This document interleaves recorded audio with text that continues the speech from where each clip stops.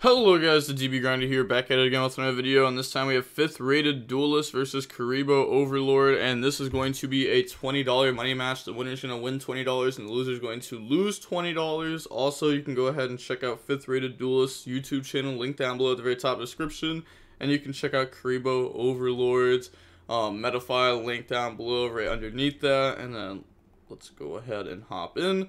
We're going to see Kuriboh Overlord win the rock, paper, scissors, shoot, and decide to go first. 40 versus 40. Gotta love to see it. Opening hands, we got Imperm, Evenly, Theosis, Evenly, and Pressured Planet. And then they have Lubellion, Ash, Crossout, Cartesia, and Saronir. Okay, so... All the hands are a little bit awkward, but it works. Uh, summon, effect, and then they're going to chain Imperm on that, and then...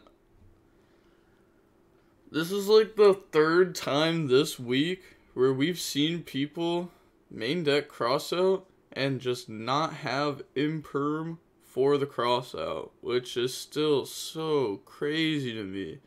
Like this card is just as popular as Ashes, and both of them hurt a lot. Especially if you play like this build with like the Bystials and stuff. You don't play like uh like the old fashioned type branded build. And then draw Ash. Okay, so go battle phase, end the battle phase evenly to hit the crossout. Uh, could have chained the cross out they wanted to. And then activate pressured planet, pressured planet, go grab unicorn. And then they could go Cartesia effect here, so that way they don't get ripped by unicorn.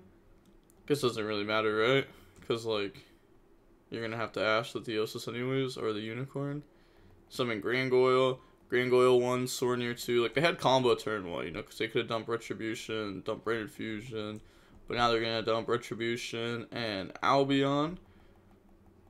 Then after that, special summon out Unicorn. Unicorn effect, go grab Birth, they let that go through. Then activate Theosis, Chain Ash Blossom, Unicorn effect. Uh, go ahead and look in their extra deck. And then they're going to hit the Rindbrumm. Alright. Uh, activate Birth, set evenly, end phase Albion. So then Albion's going to grab Branded Fusion, and then Blazing Cartesia add itself back. Um, and you may be wondering why they activated this, but is actually a really good interruption versus Branded. then they draw Adlib. So we're going to go main phase. Uh, activate Branded Fusion.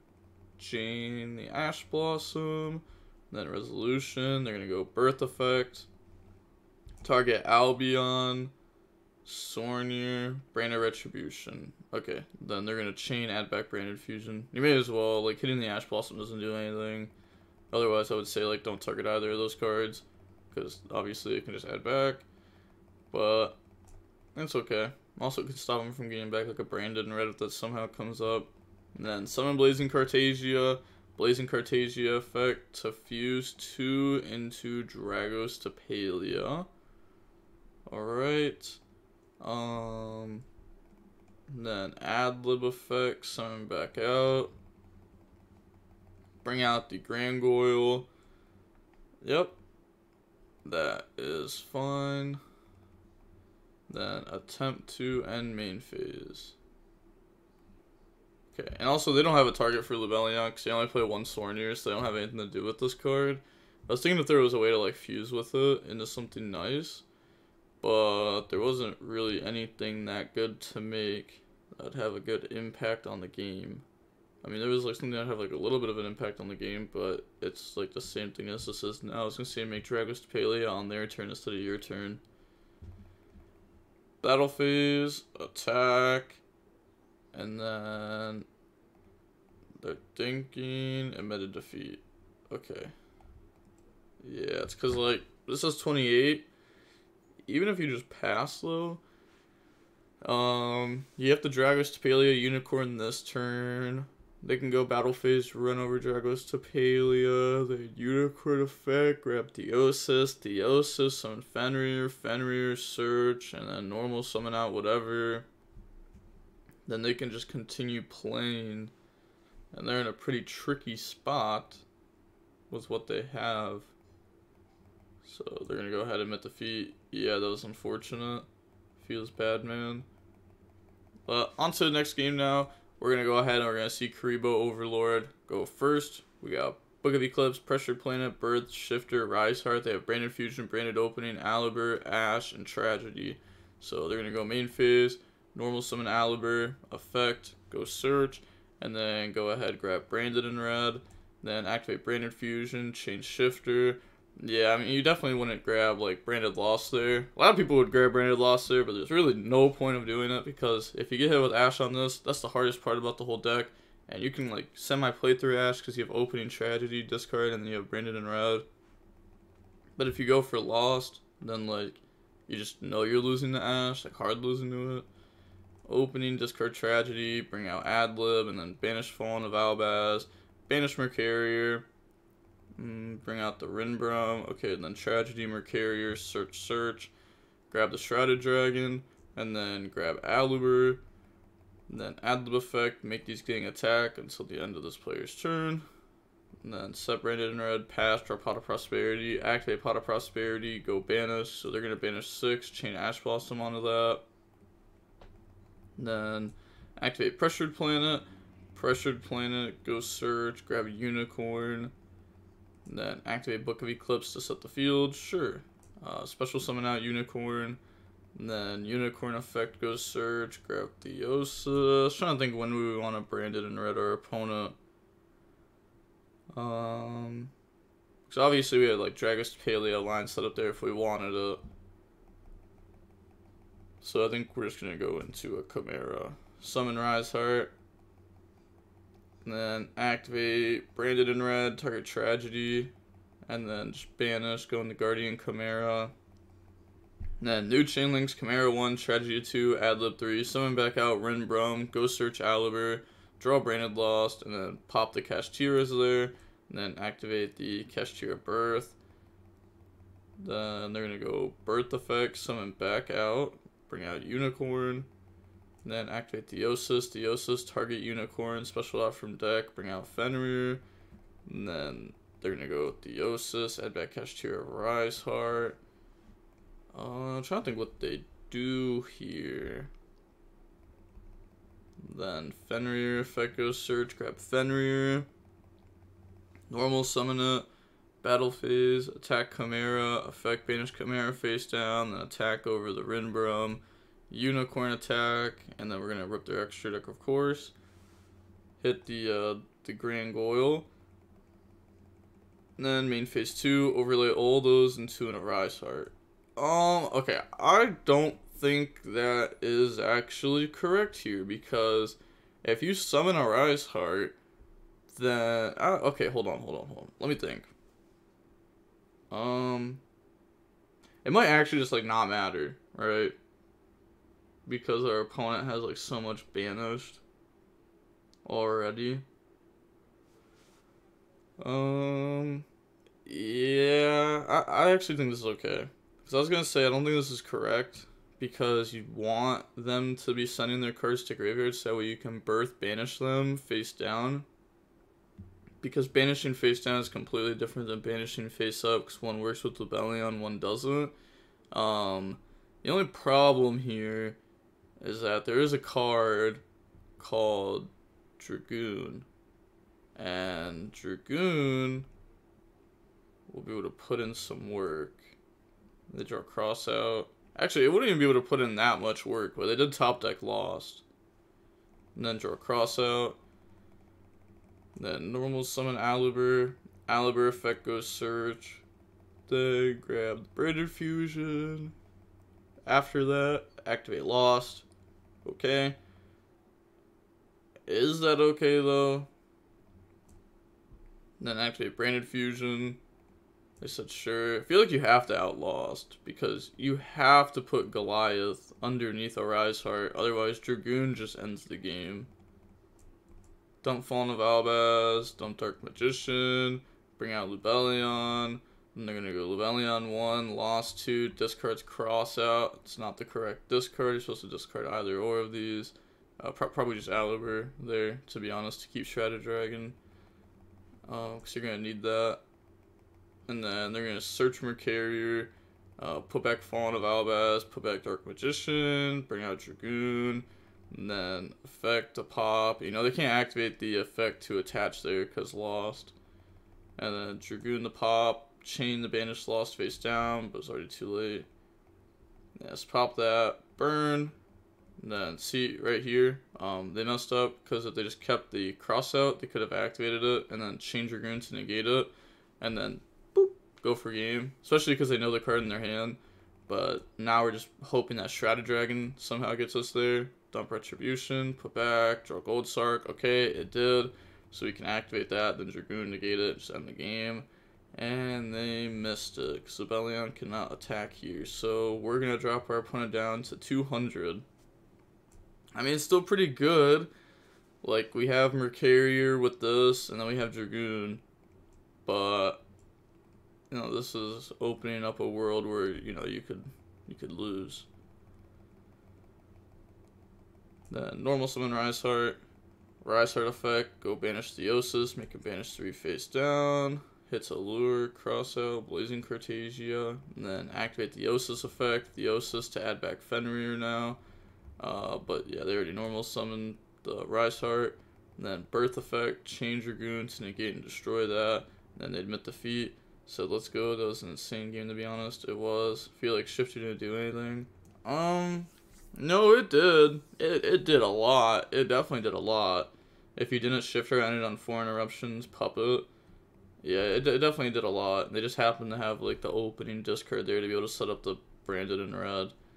Uh, but on to the next game now. We're going to go ahead and see Kashtira go first. We got Ash, Unicorn, Big Bang, Fenrir, Prosperity. They have Aluber, Gold Sark, Adlib, Dark Magician, Branded Lost. Okay, so Ash plus Engine is already like too much for this deck. To be honest, I think Branded was just like a really good choice for a 3v3 event because like the like the theory behind it was like we all can't get Ash, right? But when you're in a singles event, and I, I, I don't like it, especially because like you know you go to like a top thirty two or something with branded, and then you're pretty much putting your whole like game threes, like almost every single game three, you're just like, all right, they won't draw Ash, they won't draw Ash, or if they go first, they won't draw Ash or D barrier, they don't draw those. I don't know. You can only have that mindset for so long, especially when you're going up against a deck that plays Prosperity that can do it for six every time they draw it. And then that's gonna go ahead. They hit Theosis there. They grab Theosis. I feel like you would have tried to commit your Unicorn and see what Unicorn does, right? Because like if your Unicorn goes through, then you don't really need Theosis. You could just grab Judgment, and then just have Judgment Ash plus combo summon, effect, grab birth, then activate birth, normal summon out Fenrir, Fenrir, effect go search, grab Rise Heart, then overlay, make Shangri-Ira, then activate Rise Heart to summon, Rise Heart effect, banish from deck, banish Scareclaw Kashtira, make a banish 3 face down, and then Shangri-Ira effect, lock a zone, Theosis, bring out Ogre, said oops, Oh well. I'm not yeah. I'm not sure exactly what they were going for here.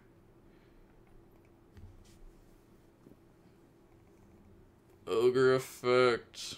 Go search for preparations.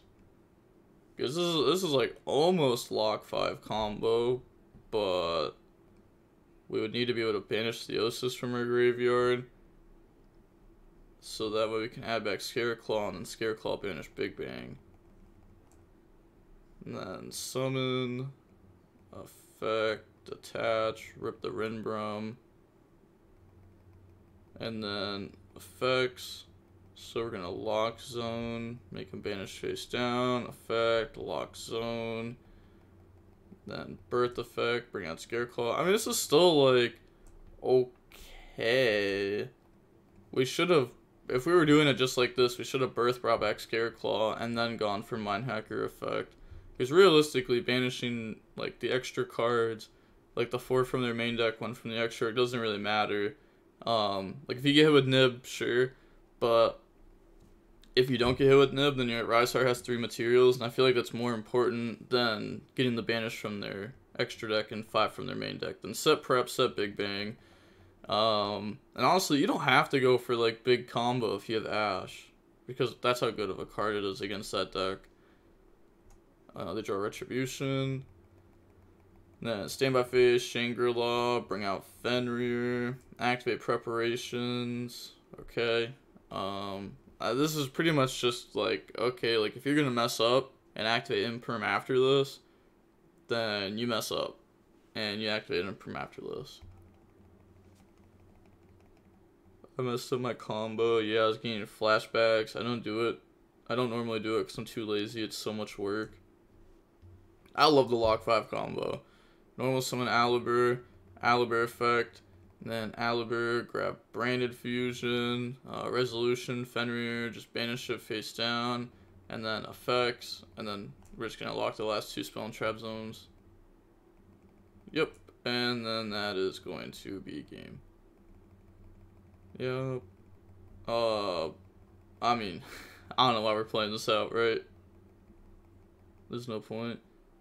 That's so weird. I press it nine times. DB does that. Yeah, you just have to do the command slash banish face down nine. But, I mean, yeah, other way it's GG's. I was gonna say, like, are you gonna do a whole lot with that Dark Magician and that ad lib here? Even if it wasn't the lock zones, I mean, their hand was pretty bad, and Ash would have done a lot. So DM me your uh, DB or DM me on Facebook your PayPal. Then they go ahead and show like the kaiju and the nib. Um, yeah, I could have drawn those. I don't know. I, I really don't think Brandon's the wave. I really don't. I think it was cool before. I still I think I think it's a really fun deck though. I enjoy playing it, but at the same time, I would never I would, I would not play it in a tournament. Sorry to re-traumatize you. If you ever want to play again, let me know. Yeah, for sure. Okay, feels like we're just reading a personal conversation now. Okay, okay. GG's, GG's. I was gonna say, I feel like I'm just reading a conversation now. I also want to go to Europe. Same. But, okay. We're gonna go ahead and we're going to see that the match was about 46 minutes long, and we do see Kashtira end up winning there over Branded after losing the rock paper scissors shoot. Um, it could have been an entirely different game if Kuriboh Overlord decided to uh, play Imperm in their deck to be able to hit with cross out instead of just Ash Blossom. You know, the, the game would have been a little bit different there. And um, yeah, I mean, if you think about it, like Ash and Imperm aren't that different like in power levels right now either. Unless if you like specifically play versus branded. I feel like Ash and Imperm are almost doing the same thing every time, except you're not getting your extra deck ripped with an Imperm. Um, I think Ash is okay. I don't think it's bad. I think like Ash, Veiler, Imperm are all pretty. They all feel fairly similar. Um, I don't know though.